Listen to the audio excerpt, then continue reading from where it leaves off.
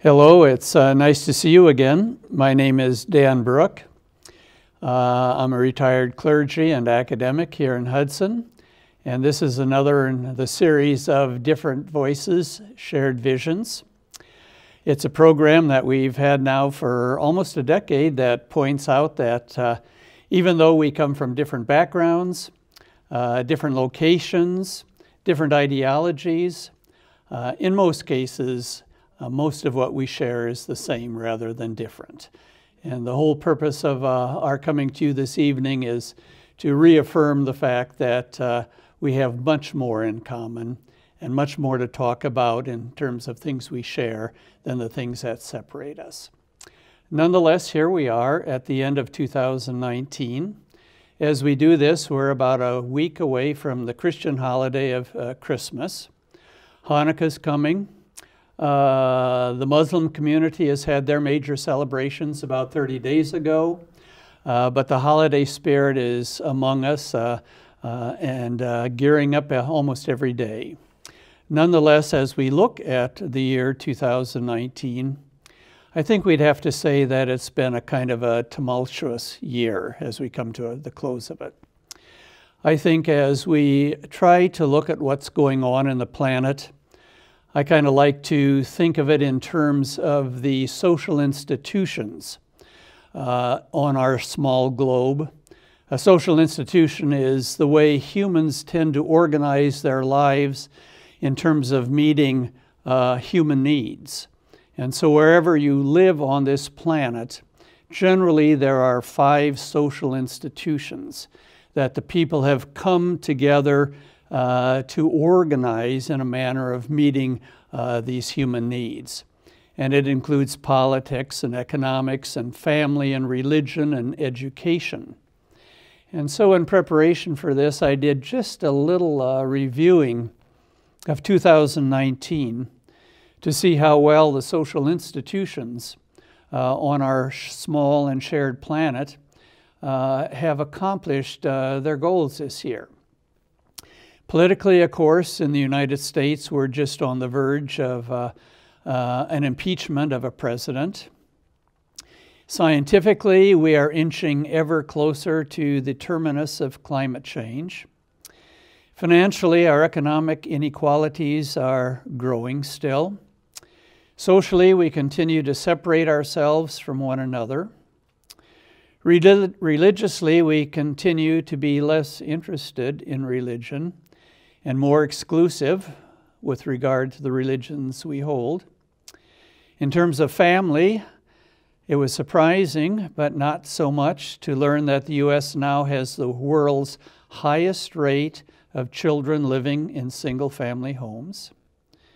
And educationally, teacher pay continues to fall, and educational disparity between states continues to grow. So, all in all, we have quite a bit of mischief in the world right now, and also in our own culture.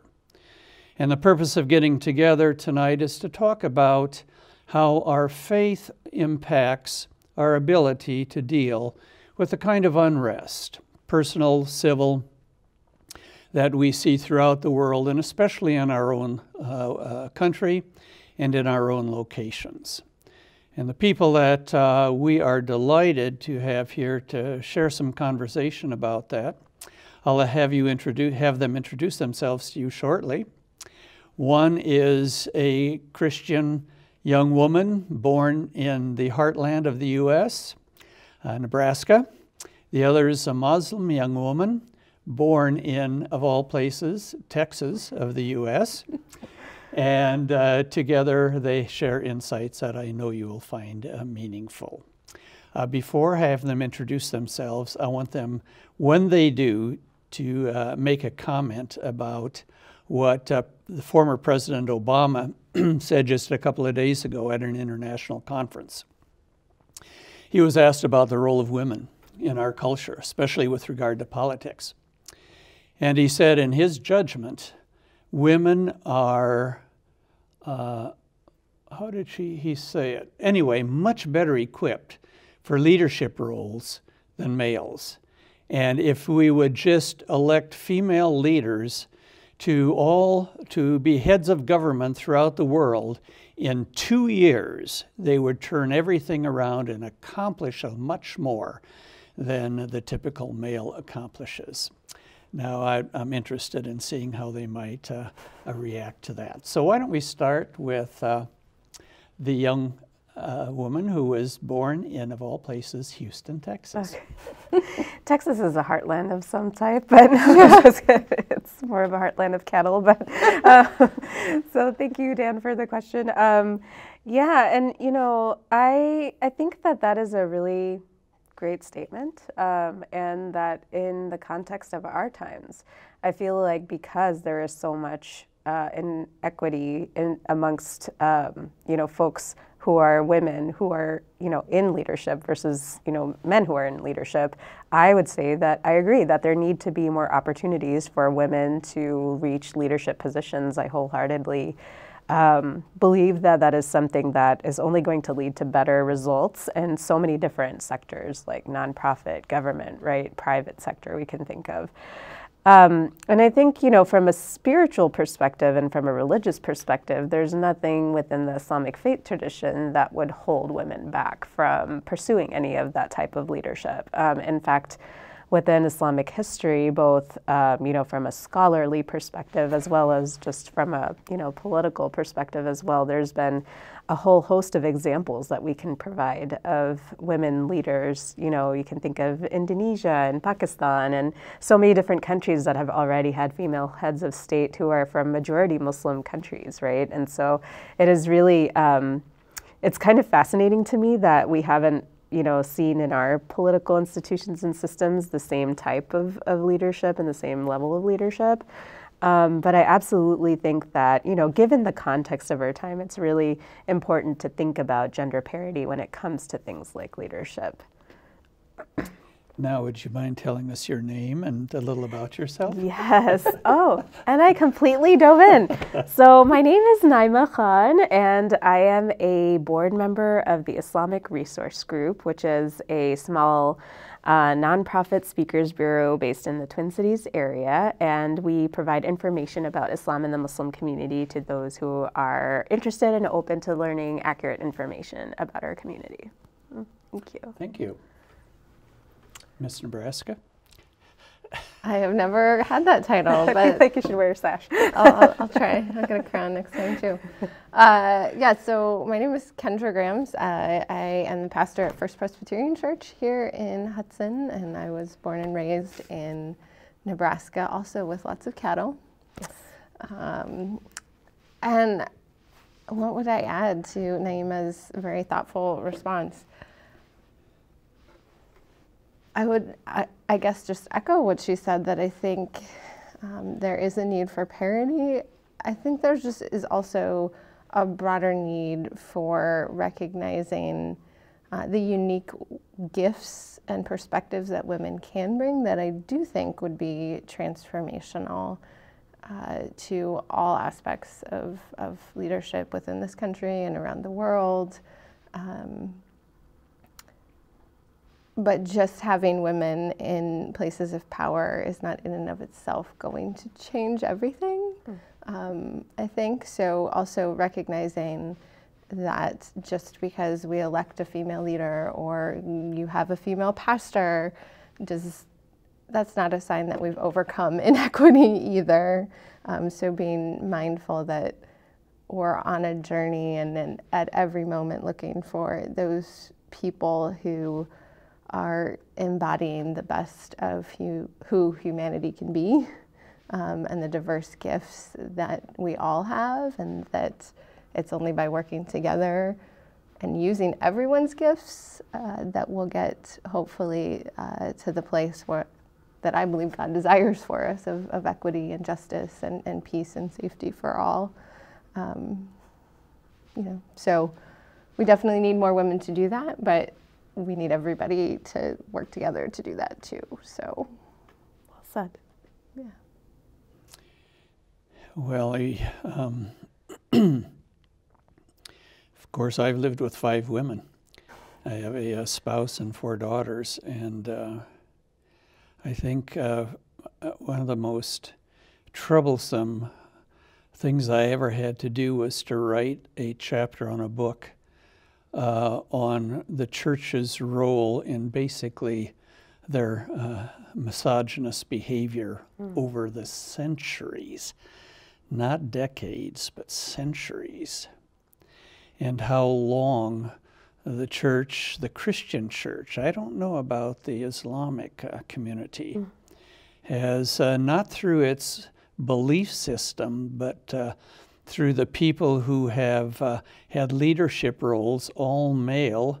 Uh, we would now call it uh, sort of pivoting from the truth to a reality uh, that they want that maintains power and, uh, uh, among other things, and how, how harmful that has been over the years. And my thought has always been how long will it take to overturn centuries of practice hmm. that are really diametric, diametrically opposed to the theologies, the beliefs that, that we are really supposed to stand for. So I hope it'll be fast, faster. Now, the topic of our conversation tonight is in, this, in these holiday times, particularly this holiday while uh, we are have high expectations for peace, love, joy, all the good emotional responses that the human condition uh, loves, uh, are always tempered with just the reverse. That for the many highs, for many families, there are lows that are just as low, if not lower. In fact, the parish I go to started a few years ago having a special uh, a, a religious ceremony, worship service. Uh, for those who are down, depressed, and uh, hurt in mm. this time of the year. So, what role do our faiths play in uh, in addressing some of the upset, uh, disgust, hurts of our time? You want me to dive in? sure, sure. Uh, well, one thought I have, um, obviously being in the midst as a Christian pastor of the, the Christian season, and uh, my parish, like uh, many but not all Christian traditions, takes the weeks before that to celebrate Advent or a time of preparation for the coming of, of Christ. And some of the traditional themes of those Sundays are exactly what you said joy, peace, uh, love, hope. Um, so it's a really interesting context to just juxtapose that with, with the state of our world, where geopolitically there's a lot going on. Uh, but as you said, there's uh, lots of ups and downs to life. Um, everything from people experiencing loss of loved ones to um, marriages, losing a marriage, losing a job, um, getting a diagnosis that's just kind of shatters everything you thought you knew. Um, so it is a time to think a lot about how do we not get mired down in that. Uh, and I also have, um, I think, the good fortune of being in conversation with people in the wider world that do not claim a religious faith. And one thing I've realized is that as the problems seem to get bigger or at least feel weightier uh, to me, my faith becomes more and more important to me. Because um, to me, it's claiming hope that my, my hope, my Christian hope, isn't based on like hoping for some sports team to win or something. It's, it's, it's not a situational thing. It's, it's much bigger based on the promises of my faith um, that God is making the world new. God is constantly pursuing um, justice and peace and love. And, you know, in my faith tradition, that's embodied through Jesus Christ, but it's part of the, the story of faith from the beginning of time. Um, and then that's a sure promise. So I don't know when this this shining dream that God has will be fully realized, but it will be, and we're on that path. And so there's this sense that while I have this sliver and my call is to do everything I can right now, it is also a much bigger thing that I'm I can't do it all, but I can do my part and I can trust uh, in my faith in the God that I call upon, that God is doing God's part, the bigger part. And, and that has been super important to me. I, as I said, people of no faith kind of look at me and are like, how do you?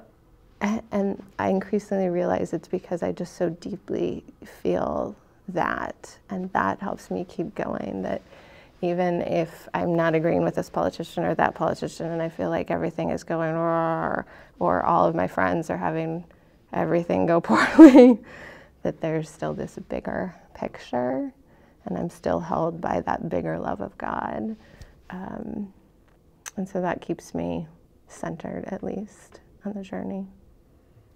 Wow, that's so much rich stuff there. It's uh, absolutely um, so so similar. Um, and I think that the way that faith helps in tumultuous times is, you know, I, I think allowing us the ability to, to take a step back a little bit, right? And and to kind of contextualize how limited our knowledge and our our you know understanding of things can be, and um, really help us kind of understand that there is a broader picture and at a very like I guess granular level for within the Muslim faith tradition specifically, I think our faith really helps us detach ourselves or learn to detach ourselves more from our egos, right? So many of the issues that we face when it comes to often, you know, thinking of like family disputes or, you know, all the classic, like the myriad of challenges that every family, every community faces, right? It's, um, I think a lot of the animus that we tend to create within ourselves, within communities, can sometimes be heavily related to a lot of us having a hard time letting go of our egos. Um, and I think that often that is what it boils down to. And so I think the the benefit of having a faith that you know, such as we do, that calls us to to really tying ourselves to a higher power and a higher purpose, is that we're able to say, okay, we're actually in this for something greater than ourselves, right? And it helps it helps me so much to to think, okay, now that I have that framing, I'm able to say, well, what's really my role here, right? And what is my intention?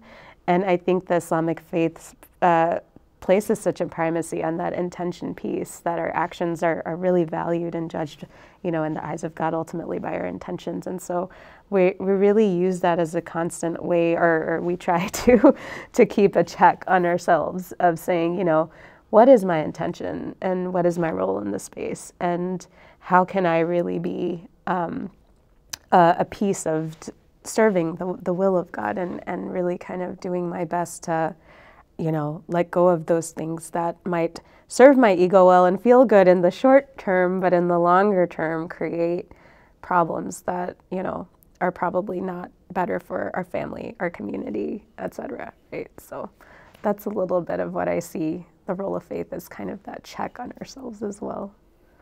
Mm-hmm. You know, um, I'm going to turn the tables on you guys a little bit and ask you to try to define in your own mind what role your particular religion has played in making matters worse rather than better mm-hmm. when it comes to we as members of uh, the same race, human race, uh, not get along very well. Where to begin? right. That's such a big. uh, you know, that's absolutely true. I think in any process of moving forward, being honest about the past and the warts or cancers, to use that metaphor, of the past that are still festering in some way that were never fully dealt with, uh, certainly as the Christian church. It's a long list. Uh, you know, historically, uh, we can talk about the Crusades that's a big one. Uh, you know, we didn't weren't exactly loving and welcoming of people that were unlike ourselves and fostered lots of sentiments that have cascaded down through the centuries. Um, you know, I think of uh, my own denomination more recently, the history of this country. Certainly, the Presbyterian Church was complicit in um, supporting slavery, in uh, supporting the um, almost complete genocide of certain indigenous populations and complete genocide of certain indigenous peoples in this country. Um, so that legacy lives on in so many ways that we have yet uh, to fully acknowledge, let alone begin the work of repairing the damage uh, that we have done. Um, and and it's it's critical work. I mean, as a Christian, we are called to reconciliation, and part of reconciliation um, and and repair and is is being honest. Um, you know, there are things that we don't do in the Bible, like Jubilee, like returning land to original. We don't do that. It's in there, but I know of very few even slivers of anything close to that um, happening. So um, all these ways in which we've we've sown difference and um, most of it goes back to power, wanting to have power over, and so then using whatever we can to justify it, um, whether it's a faithful reading of, of our religious text or not. Um, we have wielded um, religious texts and religious institutions, um, Christian uh, ones, to do just, just great harm, and we have we have to be honest about that to be able to go forward. I think um, not to get anybody's guilt up, um, but to be truly honest about where that is and how that has impacted us uh, even today to today. So I guess that's where I'd start, but that's only the very tip of the iceberg. Uh, thank you. That's that was so deep. Um, and I appreciate your words, Kendra. Um, you know, I would say that we we like to make the distinction, right, that Islam is for Muslims our God's will of how people ought to live their lives on earth, right? And that is the ideal. So we like to make the distinction between the idea and the teachings and the ideals of Islam mm-hmm. versus Muslims, right? And as as any community, we all have our shortcomings.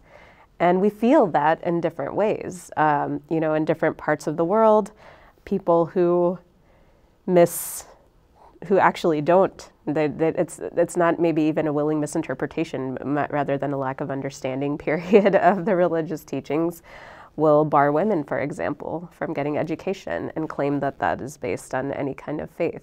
Uh, teaching, right? Which is absurd to the mainstream understanding of Muslims, right? Um, and then you have, um, you know, folks who, I think folks tend to call people fundamentalists, but the irony of that term is that they don't even really understand the fundamentals of the teaching of their faith because, you know, these folks will cherry pick verses from the Quran, they will cherry pick ideas from our tradition in order to justify their social, political, you know, means, really. And um, and that's unfortunate. It leads to unnecessary loss of lives. Killing of innocent people is by far the most one of the most heinous crimes that one can commit within the faith of Islam.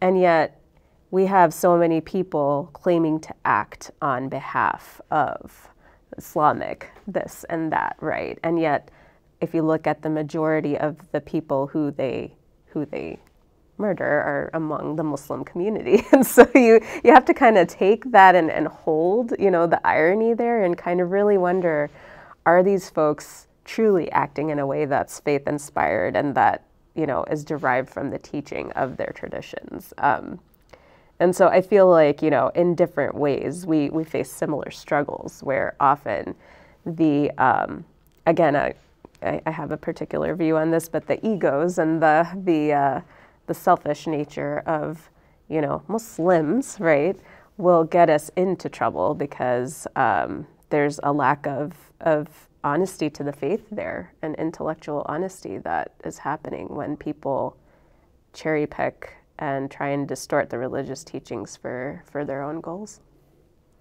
Just uh, again, as another aside, as a Muslim woman, uh, fairly young, have you seen a change in the community around you in the USA uh, over the last years? And if so, uh, how has it affected you, and how do you feel generally it's affected at least the Muslim community of which you're aware, being a Muslim in the United States at this time mm. with the so called Muslim ban, mm. all the uh, media out there that uh, mm. denigrates people of all varieties, particularly and including Muslims. How has this affected you and the people you know?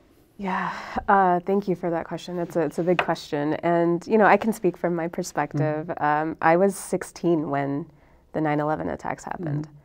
And so I actually remember growing up in, in America that more or less was not obsessed with this idea of a violent kind of um, identity being tied to my faith mm-hmm. identity, mm-hmm. right? Um, and and so it, it's this really interesting kind of existence, really, um, because the first half of my life or so, I really didn't face a lot of the challenges that young Muslims that you know we look at today. Uh, there's so much research out there that mm-hmm. talks about the stigmas that young Muslim students face in mm-hmm. schools with bullying and, and et cetera, right? And I feel like they just face such a unique set of challenges that I'm, you know, I pray for them and. I, I don't know what I would have done if I had to face those same stigmas growing mm-hmm, up. Um, but absolutely, I mean, after I graduated high school, after I got into college, in fact, one of my my undergraduate thesis statement was was a study in communications on just how much the media was using um, different buzzwords and, and key terms in reporting on Muslims uh, globally. Um, and it was really fascinating because you can't find one uh, pattern throughout the use of mm-hmm. of uh, distorted kind of concepts in the media, except that they tend to fall on election cycles. Mm-hmm. The the anti-Muslim mm. rhetoric spikes more when there's an election cycle that's happening, which I think we saw clearly in 2016 as mm-hmm. well. Um, and so it is a different reality. I mean, it's it's different to have to have a fear in the back of your head that oh, in any space that I go into, are there people that will take my hijab, for example, in the wrong way, right? Like, are there people who the mere act of covering my hair and displaying um, what I think is a duty within my faith might be interpreted as me being hostile to their values, right? Um, which is, it's it's a scary thing to have to carry with you um, a lot. It's it becomes tiring. Um, I remember I used to work at this this nonprofit and a former job, and um, you know that we had a bunch of donors, you know, kind of coming to an event, and you know I was all of a sudden kind of grew conscious, and it was like the beginning of the event, and people were starting to filter in, and I was like, oh gosh. I wonder if people will look at my hijab and think certain things or be less motivated to donate to our organization. And I remember my colleague, who is who is a middle-aged white woman, um, at the time she she was she turned to me and she goes, I've never had to think about that. And and so, you know, to me, I think that it's th- thoughts like those kind of stay with you and in your head, regardless of how conscious you are of them at any given time. And so it's just like the reality of kind of moving in that, and yet knowing that, you know, um, for many of us, uh, for, for me at least in the Muslim community, I have so many privileges yet, right, uh, relative to, to so many other people. And so um, it's really kind of holding those realities and, and knowing that while I, I do tend to move in many privileged spaces, and, uh, you know, I, I, I have so many folks who are, you know, within the community and outside of the community that are so curious and loving and, and hold such compassion for our communities all at the same time. And yet there's this very real like fear-based like aspect of like, oh, am I going to get called out or am I going to get physically harmed or jumped or, you know, I don't know, mugged or whatever it is, right? You hear so many news stories about students and older women and you know people just being unfortunately shot and like ran over. And uh, so it's uh, you know it's it's a very like it's kind of a dualized like you have to just learn to navigate spaces with with holding all of that. So i guess that is my easiest way of answering that. How long have muslims been in the united states? Since the birth of the nation, really. Um, so I believe that, um, you know, and of course, historians always dispute facts, but um, I believe that folks who were sent with, you know, Columbus on, on the voyage, right, are, were Muslim, like they navigated here, were Muslim. Um, and about, you know, roughly a third of the people who were ca captured and enslaved um, you know, and brought here from Africa identified as Muslims. And so I think people often don't realize, I mean, even here in Minnesota, the historical record shows that as early as 1880s, the late 1880s, early 1890s, we had people coming in from Lebanon, from Syria, tradespeople who came here to, you know, earn a earn a living and uh, and make their future here in Minnesota. And so it's it's really kind of fascinating when you think about the modern political discourse and how long the Muslim community here mm-hmm. exists. So. Yeah. Can I dovetail on something uh, he said? I think it, it's, first of all, thank you for sharing so beautifully just your experience to help us all under understand more uh, what our, our Muslim neighbors face on a daily basis. I appreciated also how beautifully you nuanced privilege even within your own community and, and talking about fear because that's one thing I, I, think is part of the challenge of, of the times we face is um, yes everybody faces challenges and sometimes we put up these barriers of oh well I I don't have space, or for whatever reason, I can't have compassion for the particular challenges that the Muslim community is facing because I I'm having these challenges over here, whether it's um, because of gender or class uh, or whatever it is, right? We we tend to default towards this either or, you know, a duality, and, and instead of trying to, I think, live out of the abundance that God intends. That that there's enough space for all. There's enough for all, and listening with compassion and having compassion to another person's the particular challenges they face does not negate in any way the particular challenges I face or my child faces or my neighbor faces, right? Um, we tend to put up the fear instead of leading with compassion that yes, my challenges are real and other people also have challenges. And so I just wanted to affirm that as I think um, a wonderful thing that we could all do better at. you know, listening with compassion Absolutely. to others, trusting their their experience to be fully authentic and fully valid, and that that in no way negates our own, whatever it is. So, just living from that generosity, which which I think is a, across all of our faiths too. You know, I know it's certainly part of the Christian faith and from all my other interfaith neighbors. That's what I've heard. So um, that would maybe be a hopeful place that would help us if we could practice that discipline of listening with compassion and really accepting and trusting everybody's authentic sharing of their own experience. I think it'd get us a long ways. the um, just to go back a bit to pick on you a little bit. Okay. it's not really that.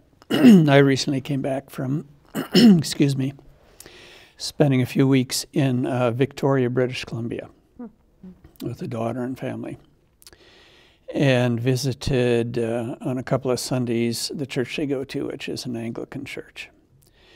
And um, at the beginning of both services, the priest uh, started out with a statement of thanks uh, for the two Aboriginal tribes who lived on the land that the church now sits on, uh, asking for forgiveness for uh, all that uh, the so called settlers did uh, to the Aboriginals. Uh, and uh, trying to make amends and uh, what they're trying to do, and wanting every week to remember that their placement there is is based on the harm they have done to these two Aboriginal uh, tribes. And then they always list the programs that they have in place for uh, trying to address some of these things. And it just struck me if we, as you suggest, want to start to overcome some of the uh, some of the most unfortunate mischief that all faiths have been involved in over the years to the detriment of others, it really takes hard and consistent work. What would happen to a typical Christian congregation if a clergy would stand up on a Sunday morning and start their service by saying, We are here this morning just to recognize that the Ojibwe originally owned this land? Yeah. What do you think would happen? Uh, it's a great question um, and one that uh, my own uh, church family is is actually wrestling with. I think pretty actively recently. I mentioned that Presbyterians, at least, were complicit in these huge racial um, parts of the history of our country.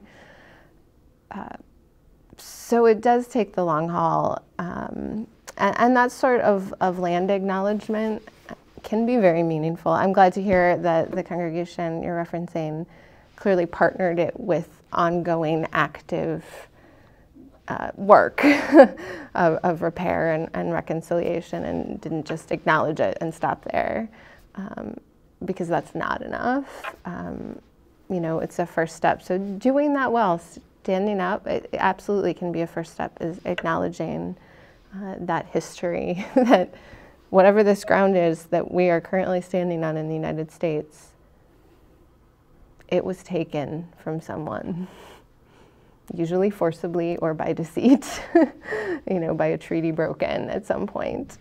Um,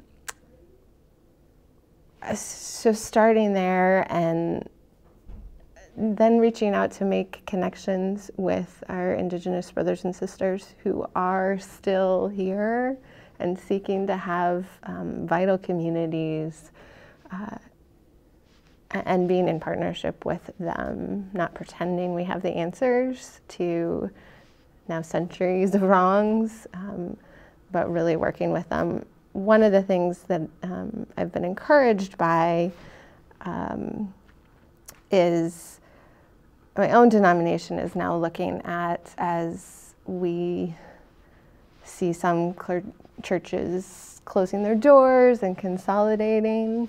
Um, there are economic assets there from the sale of buildings. Um, so there's actually starting to be conversations about what would it look like to just give this land back, period, or give some of the money from the sale of real estate mm.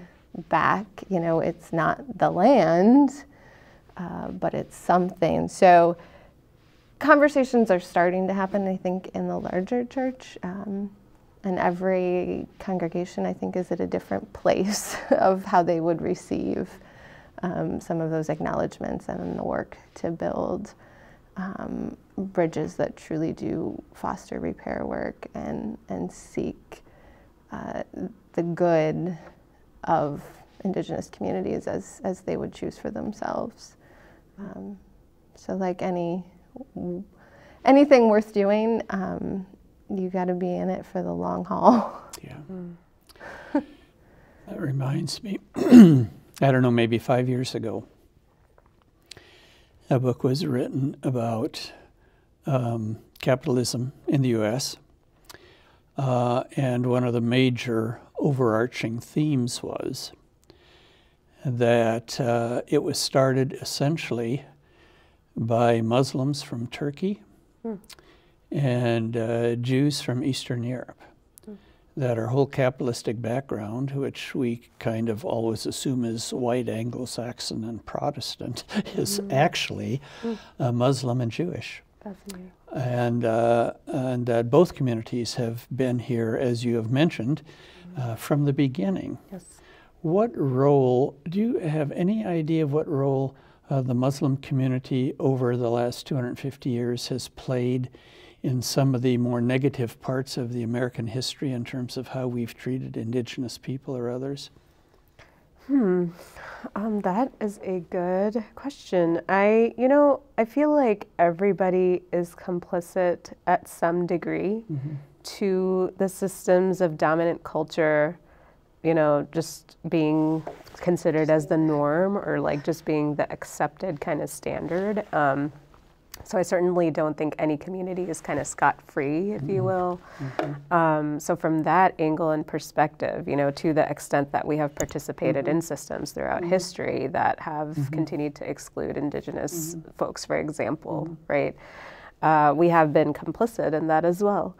Um, and I think that. Um, you know, it's an. I think it's an interesting critique of maybe you know the uh, the role that Muslims and perhaps the Jewish community uh, played in in. Um, that's the first I've heard of, of, of, really kind of bringing about the capitalist system mm-hmm. because you know when you when you take uh, economics at Georgetown like I did mm-hmm. for a semester, I didn't go to Georgetown but I was mm-hmm. there um, you know, they, they teach you about Adam Smith and the invisible yeah. hand yes, in the yes, markets yes. and all the theories that kind of predated, right, for in the in that era. Mm-hmm. Um, so uh, that's that's kind of the first that I've heard in, in mm-hmm. terms of that uh, mm-hmm. academically. But no, but I think I think you know for, for all communities, I think the the very real question is how do we currently participate, mm-hmm. right, mm-hmm. in in these different. Um, systemic inequalities that happen. I mean, even if you think about the education gap, right? Mm-hmm. Like, what what role are we playing in uh, demanding that our students, for example, get a certain type of mm-hmm. you know schooling, or, or, or, mm-hmm. you know, so so I think there are very real factors that communities may not mm-hmm. understand, you know, how they're playing into. Um, but it's not always that neat and clean. It's not like Muslims, just like any other, you know, faith group. We're not one monolithic, mm-hmm. you know. So, for example, um, I was recently watching a show about how there were a group of South Asian parents who were not who were wanting to um, take away affirmative action from um, kind of college ha- decision making so- selection mm-hmm, processes mm-hmm, mm-hmm, um, because they were concerned that the South Asian students would get weeded mm-hmm, out, for mm-hmm. example, right? And mm-hmm. you have this like, well, that's not really a part of any South Asian faith, like right, like it's not. And but but you soon understand that it's it's really a political issue, and it's an issue of resources, and where people think that they're afraid of you know losing resources, right? And so, I feel like we have many examples that we can you know list and and highlight um, where communities are complicit in those yeah. types of issues. Absolutely. Well, I've just noted how quickly the time has passed. And I wonder, before we close it off for the day, if we could have each of you sort of close it off with a, uh, a thought that will raise our spirits a little in a season where our spirits are expected to be a little higher than some of our conversations uh, have, have, led us to believe. So I'll give each of you, or ask each of you, uh, as you are willing, to give a closing thought. Sure.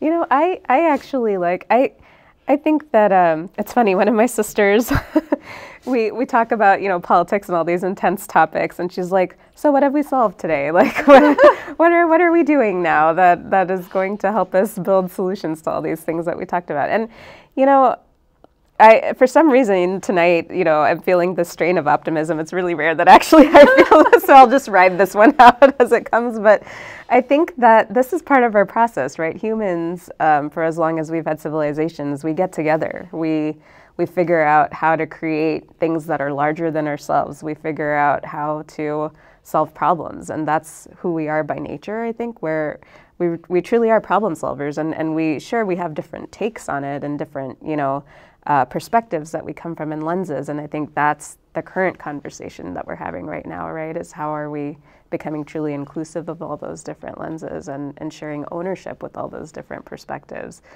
And I think that there's so much to, to actually hope for. Um, I think our faiths fundamentally teach us messages of hope and being assured that there is a greater plan and that God is always working toward justice. Um, I think that manifests in different ways for our faith community, and the fact that we can, the three of us, can have a conversation like this tonight here. Just I don't know. It gives me it gives me hope that we can actually get toward better understanding and better working of solutions with one another. Mm-hmm. Yeah, and I think just dovetailing off of that, um, I think a hopeful place is that people of all faiths, I think this is true as I, I try to um, build bridges across all of Christianity, um, including with those in the Christian faith who think I, as uh, a woman, have zero business being a pastor, let alone outside the home, right? Um, as I have those conversations, as I have interfaith conversations, I think being the blessing of talking with people of faith, especially, uh, is that there are deep convictions, and that if we can come with, with clarity about what is, is core to what we believe um, and share that authentically, then there are these beautiful points of connection just in the spirit of this program, right? Um, and that we can start there, right? So, as Naima just said, that God is always working towards justice. I would say the same, right? So, that fertile ground for us to work together and be problem solvers, just as just as you said, um, is absolutely a place of hope. I mean, that's where we can grow together and and hopefully create, um, you know, with God's guidance and leading, um, this world of peace and justice and inclusive love, uh, where we take the abundance God has given and, and truly make sure all can enjoy uh, the place that God intends for them that is hopeful and wonderful. So, um, yeah, I think that's conversations like this give me hope because I think they're based on that fertile ground of what do we have in common instead of dwelling endlessly on what's different. Um, so. so. there you have it. What a great ending to a, a conversation that I hope is informative and uh, interesting to you. And what a delight it is, especially for somebody like myself from the generation I come from, to see two young women who are so informed, so engaged, and so hopeful about, about the future. And so, as we uh, continue uh, in the holiday season, we surely hope that each of you, in your own way, has a, a wonderful time, uh, predominantly uh, demonstrating a period of peace, justice, uh, uh, joy, forgiveness, and love. Those are the things to which all of us commend you, trusting in the promises of God to provide it. So, a blessed holiday season to you all, and thank you so much for walking, watching. Goodbye now.